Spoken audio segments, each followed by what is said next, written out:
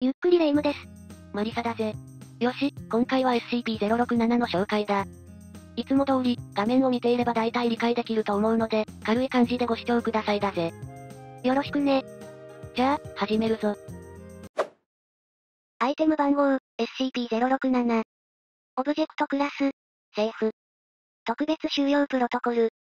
使用されていないとき、または研究対象でないとき、SCP-067 はフェルトで裏打ちされた木箱に保管されます。ペン先には線をし、すべての作品と文章は研究部門に提出され、分析とさらなる実験が命じられます。説明。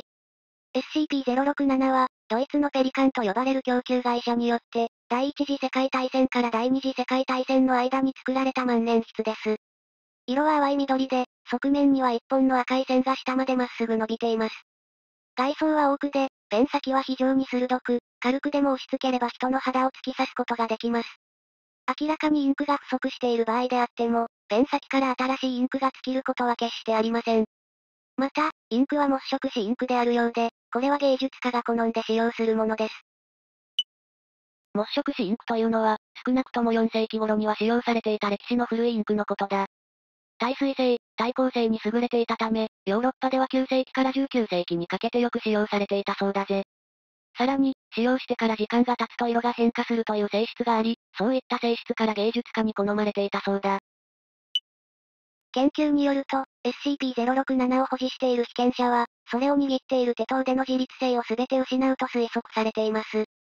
各種感覚は損なわれませんが、肘から下は SCP-067 の内部に中心があると仮定されている、未知の力に支配されます。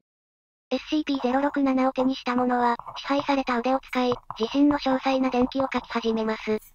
電気には氏名、年齢、誕生日、前科、恐怖の対象などの情報が含まれているようです。また、執筆者がこれまでの人生で遭遇した事件や事故についても、記述されることが多い傾向にあります。例えば、被験者 1204M が SCP-067 を持った時、彼が前年に遭遇した自動車事故の詳細な記録を書き始めました。その後の調査で、1204M は自身が執筆した内容の多くを、執筆時点では記憶していなかったことが判明しました。これは SCP-067 の影響下にある対象が、忘れていると自覚している記憶も、SCP-067 を用いることで記述できることを意味します。1204M は執筆中、事故の記憶を思い出しながら、口の中の血の味も鮮明に思い出せたと証言しています。SCP-067 を持っている被験者は、過去に芸術に関する教育を受けていない、または芸術的才能がないにもかかわらず、複雑な芸術作品を描くことが知られています。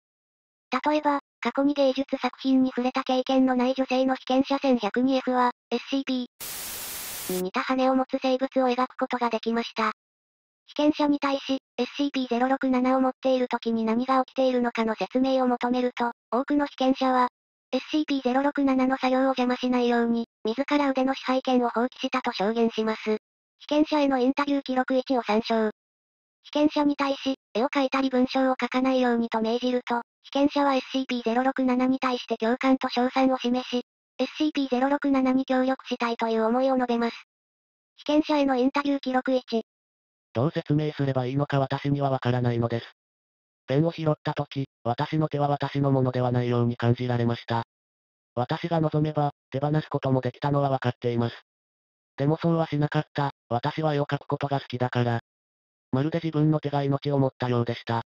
突然私の手は止まり、私は自分の手を自らの意思で動かせると気づき、ペンを置いて数歩後ろに下がりました。私は完成した絵を見て、それがどれほど美しいかを確認しました。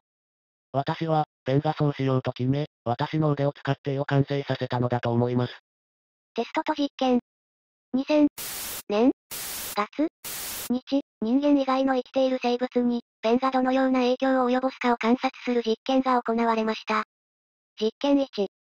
あらかじめペンとマーカーの使用法を覚えさせた、2歳4ヶ月のオスの赤毛ザルは、標準的な心理学的観察室に、SCP-067、作業机、紙のパッドと共に置かれました。被験体は SCP-067 を左足で拾い、右手に持ち替え、味見をしました。被験体はペンを紙の上に置き、それを匂いました。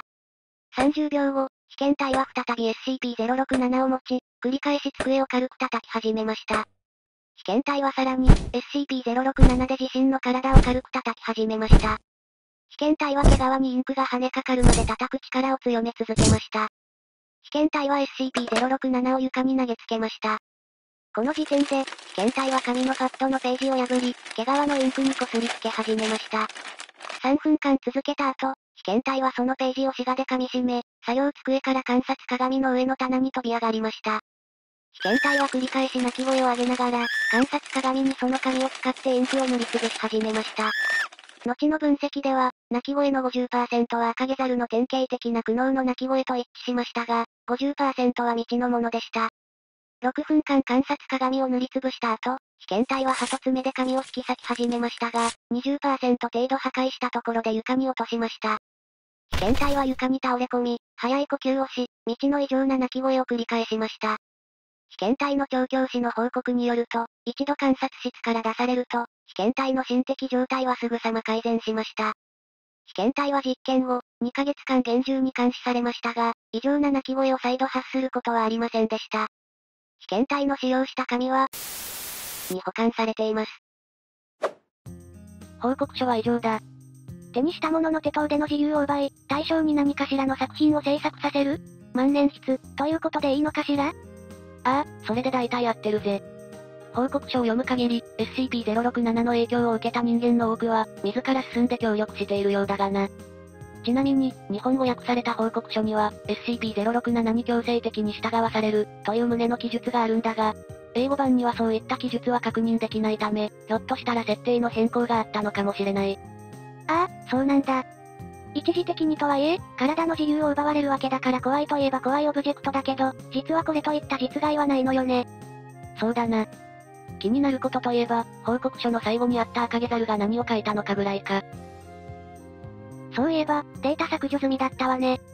さて、一体何が書かれていたのやら。では、今回の紹介はここまでにしよう。これからも地道に SCP の紹介をしていくので、よろしければお付き合いくださいだぜ。ではでは、ご視聴、ありがとうございました。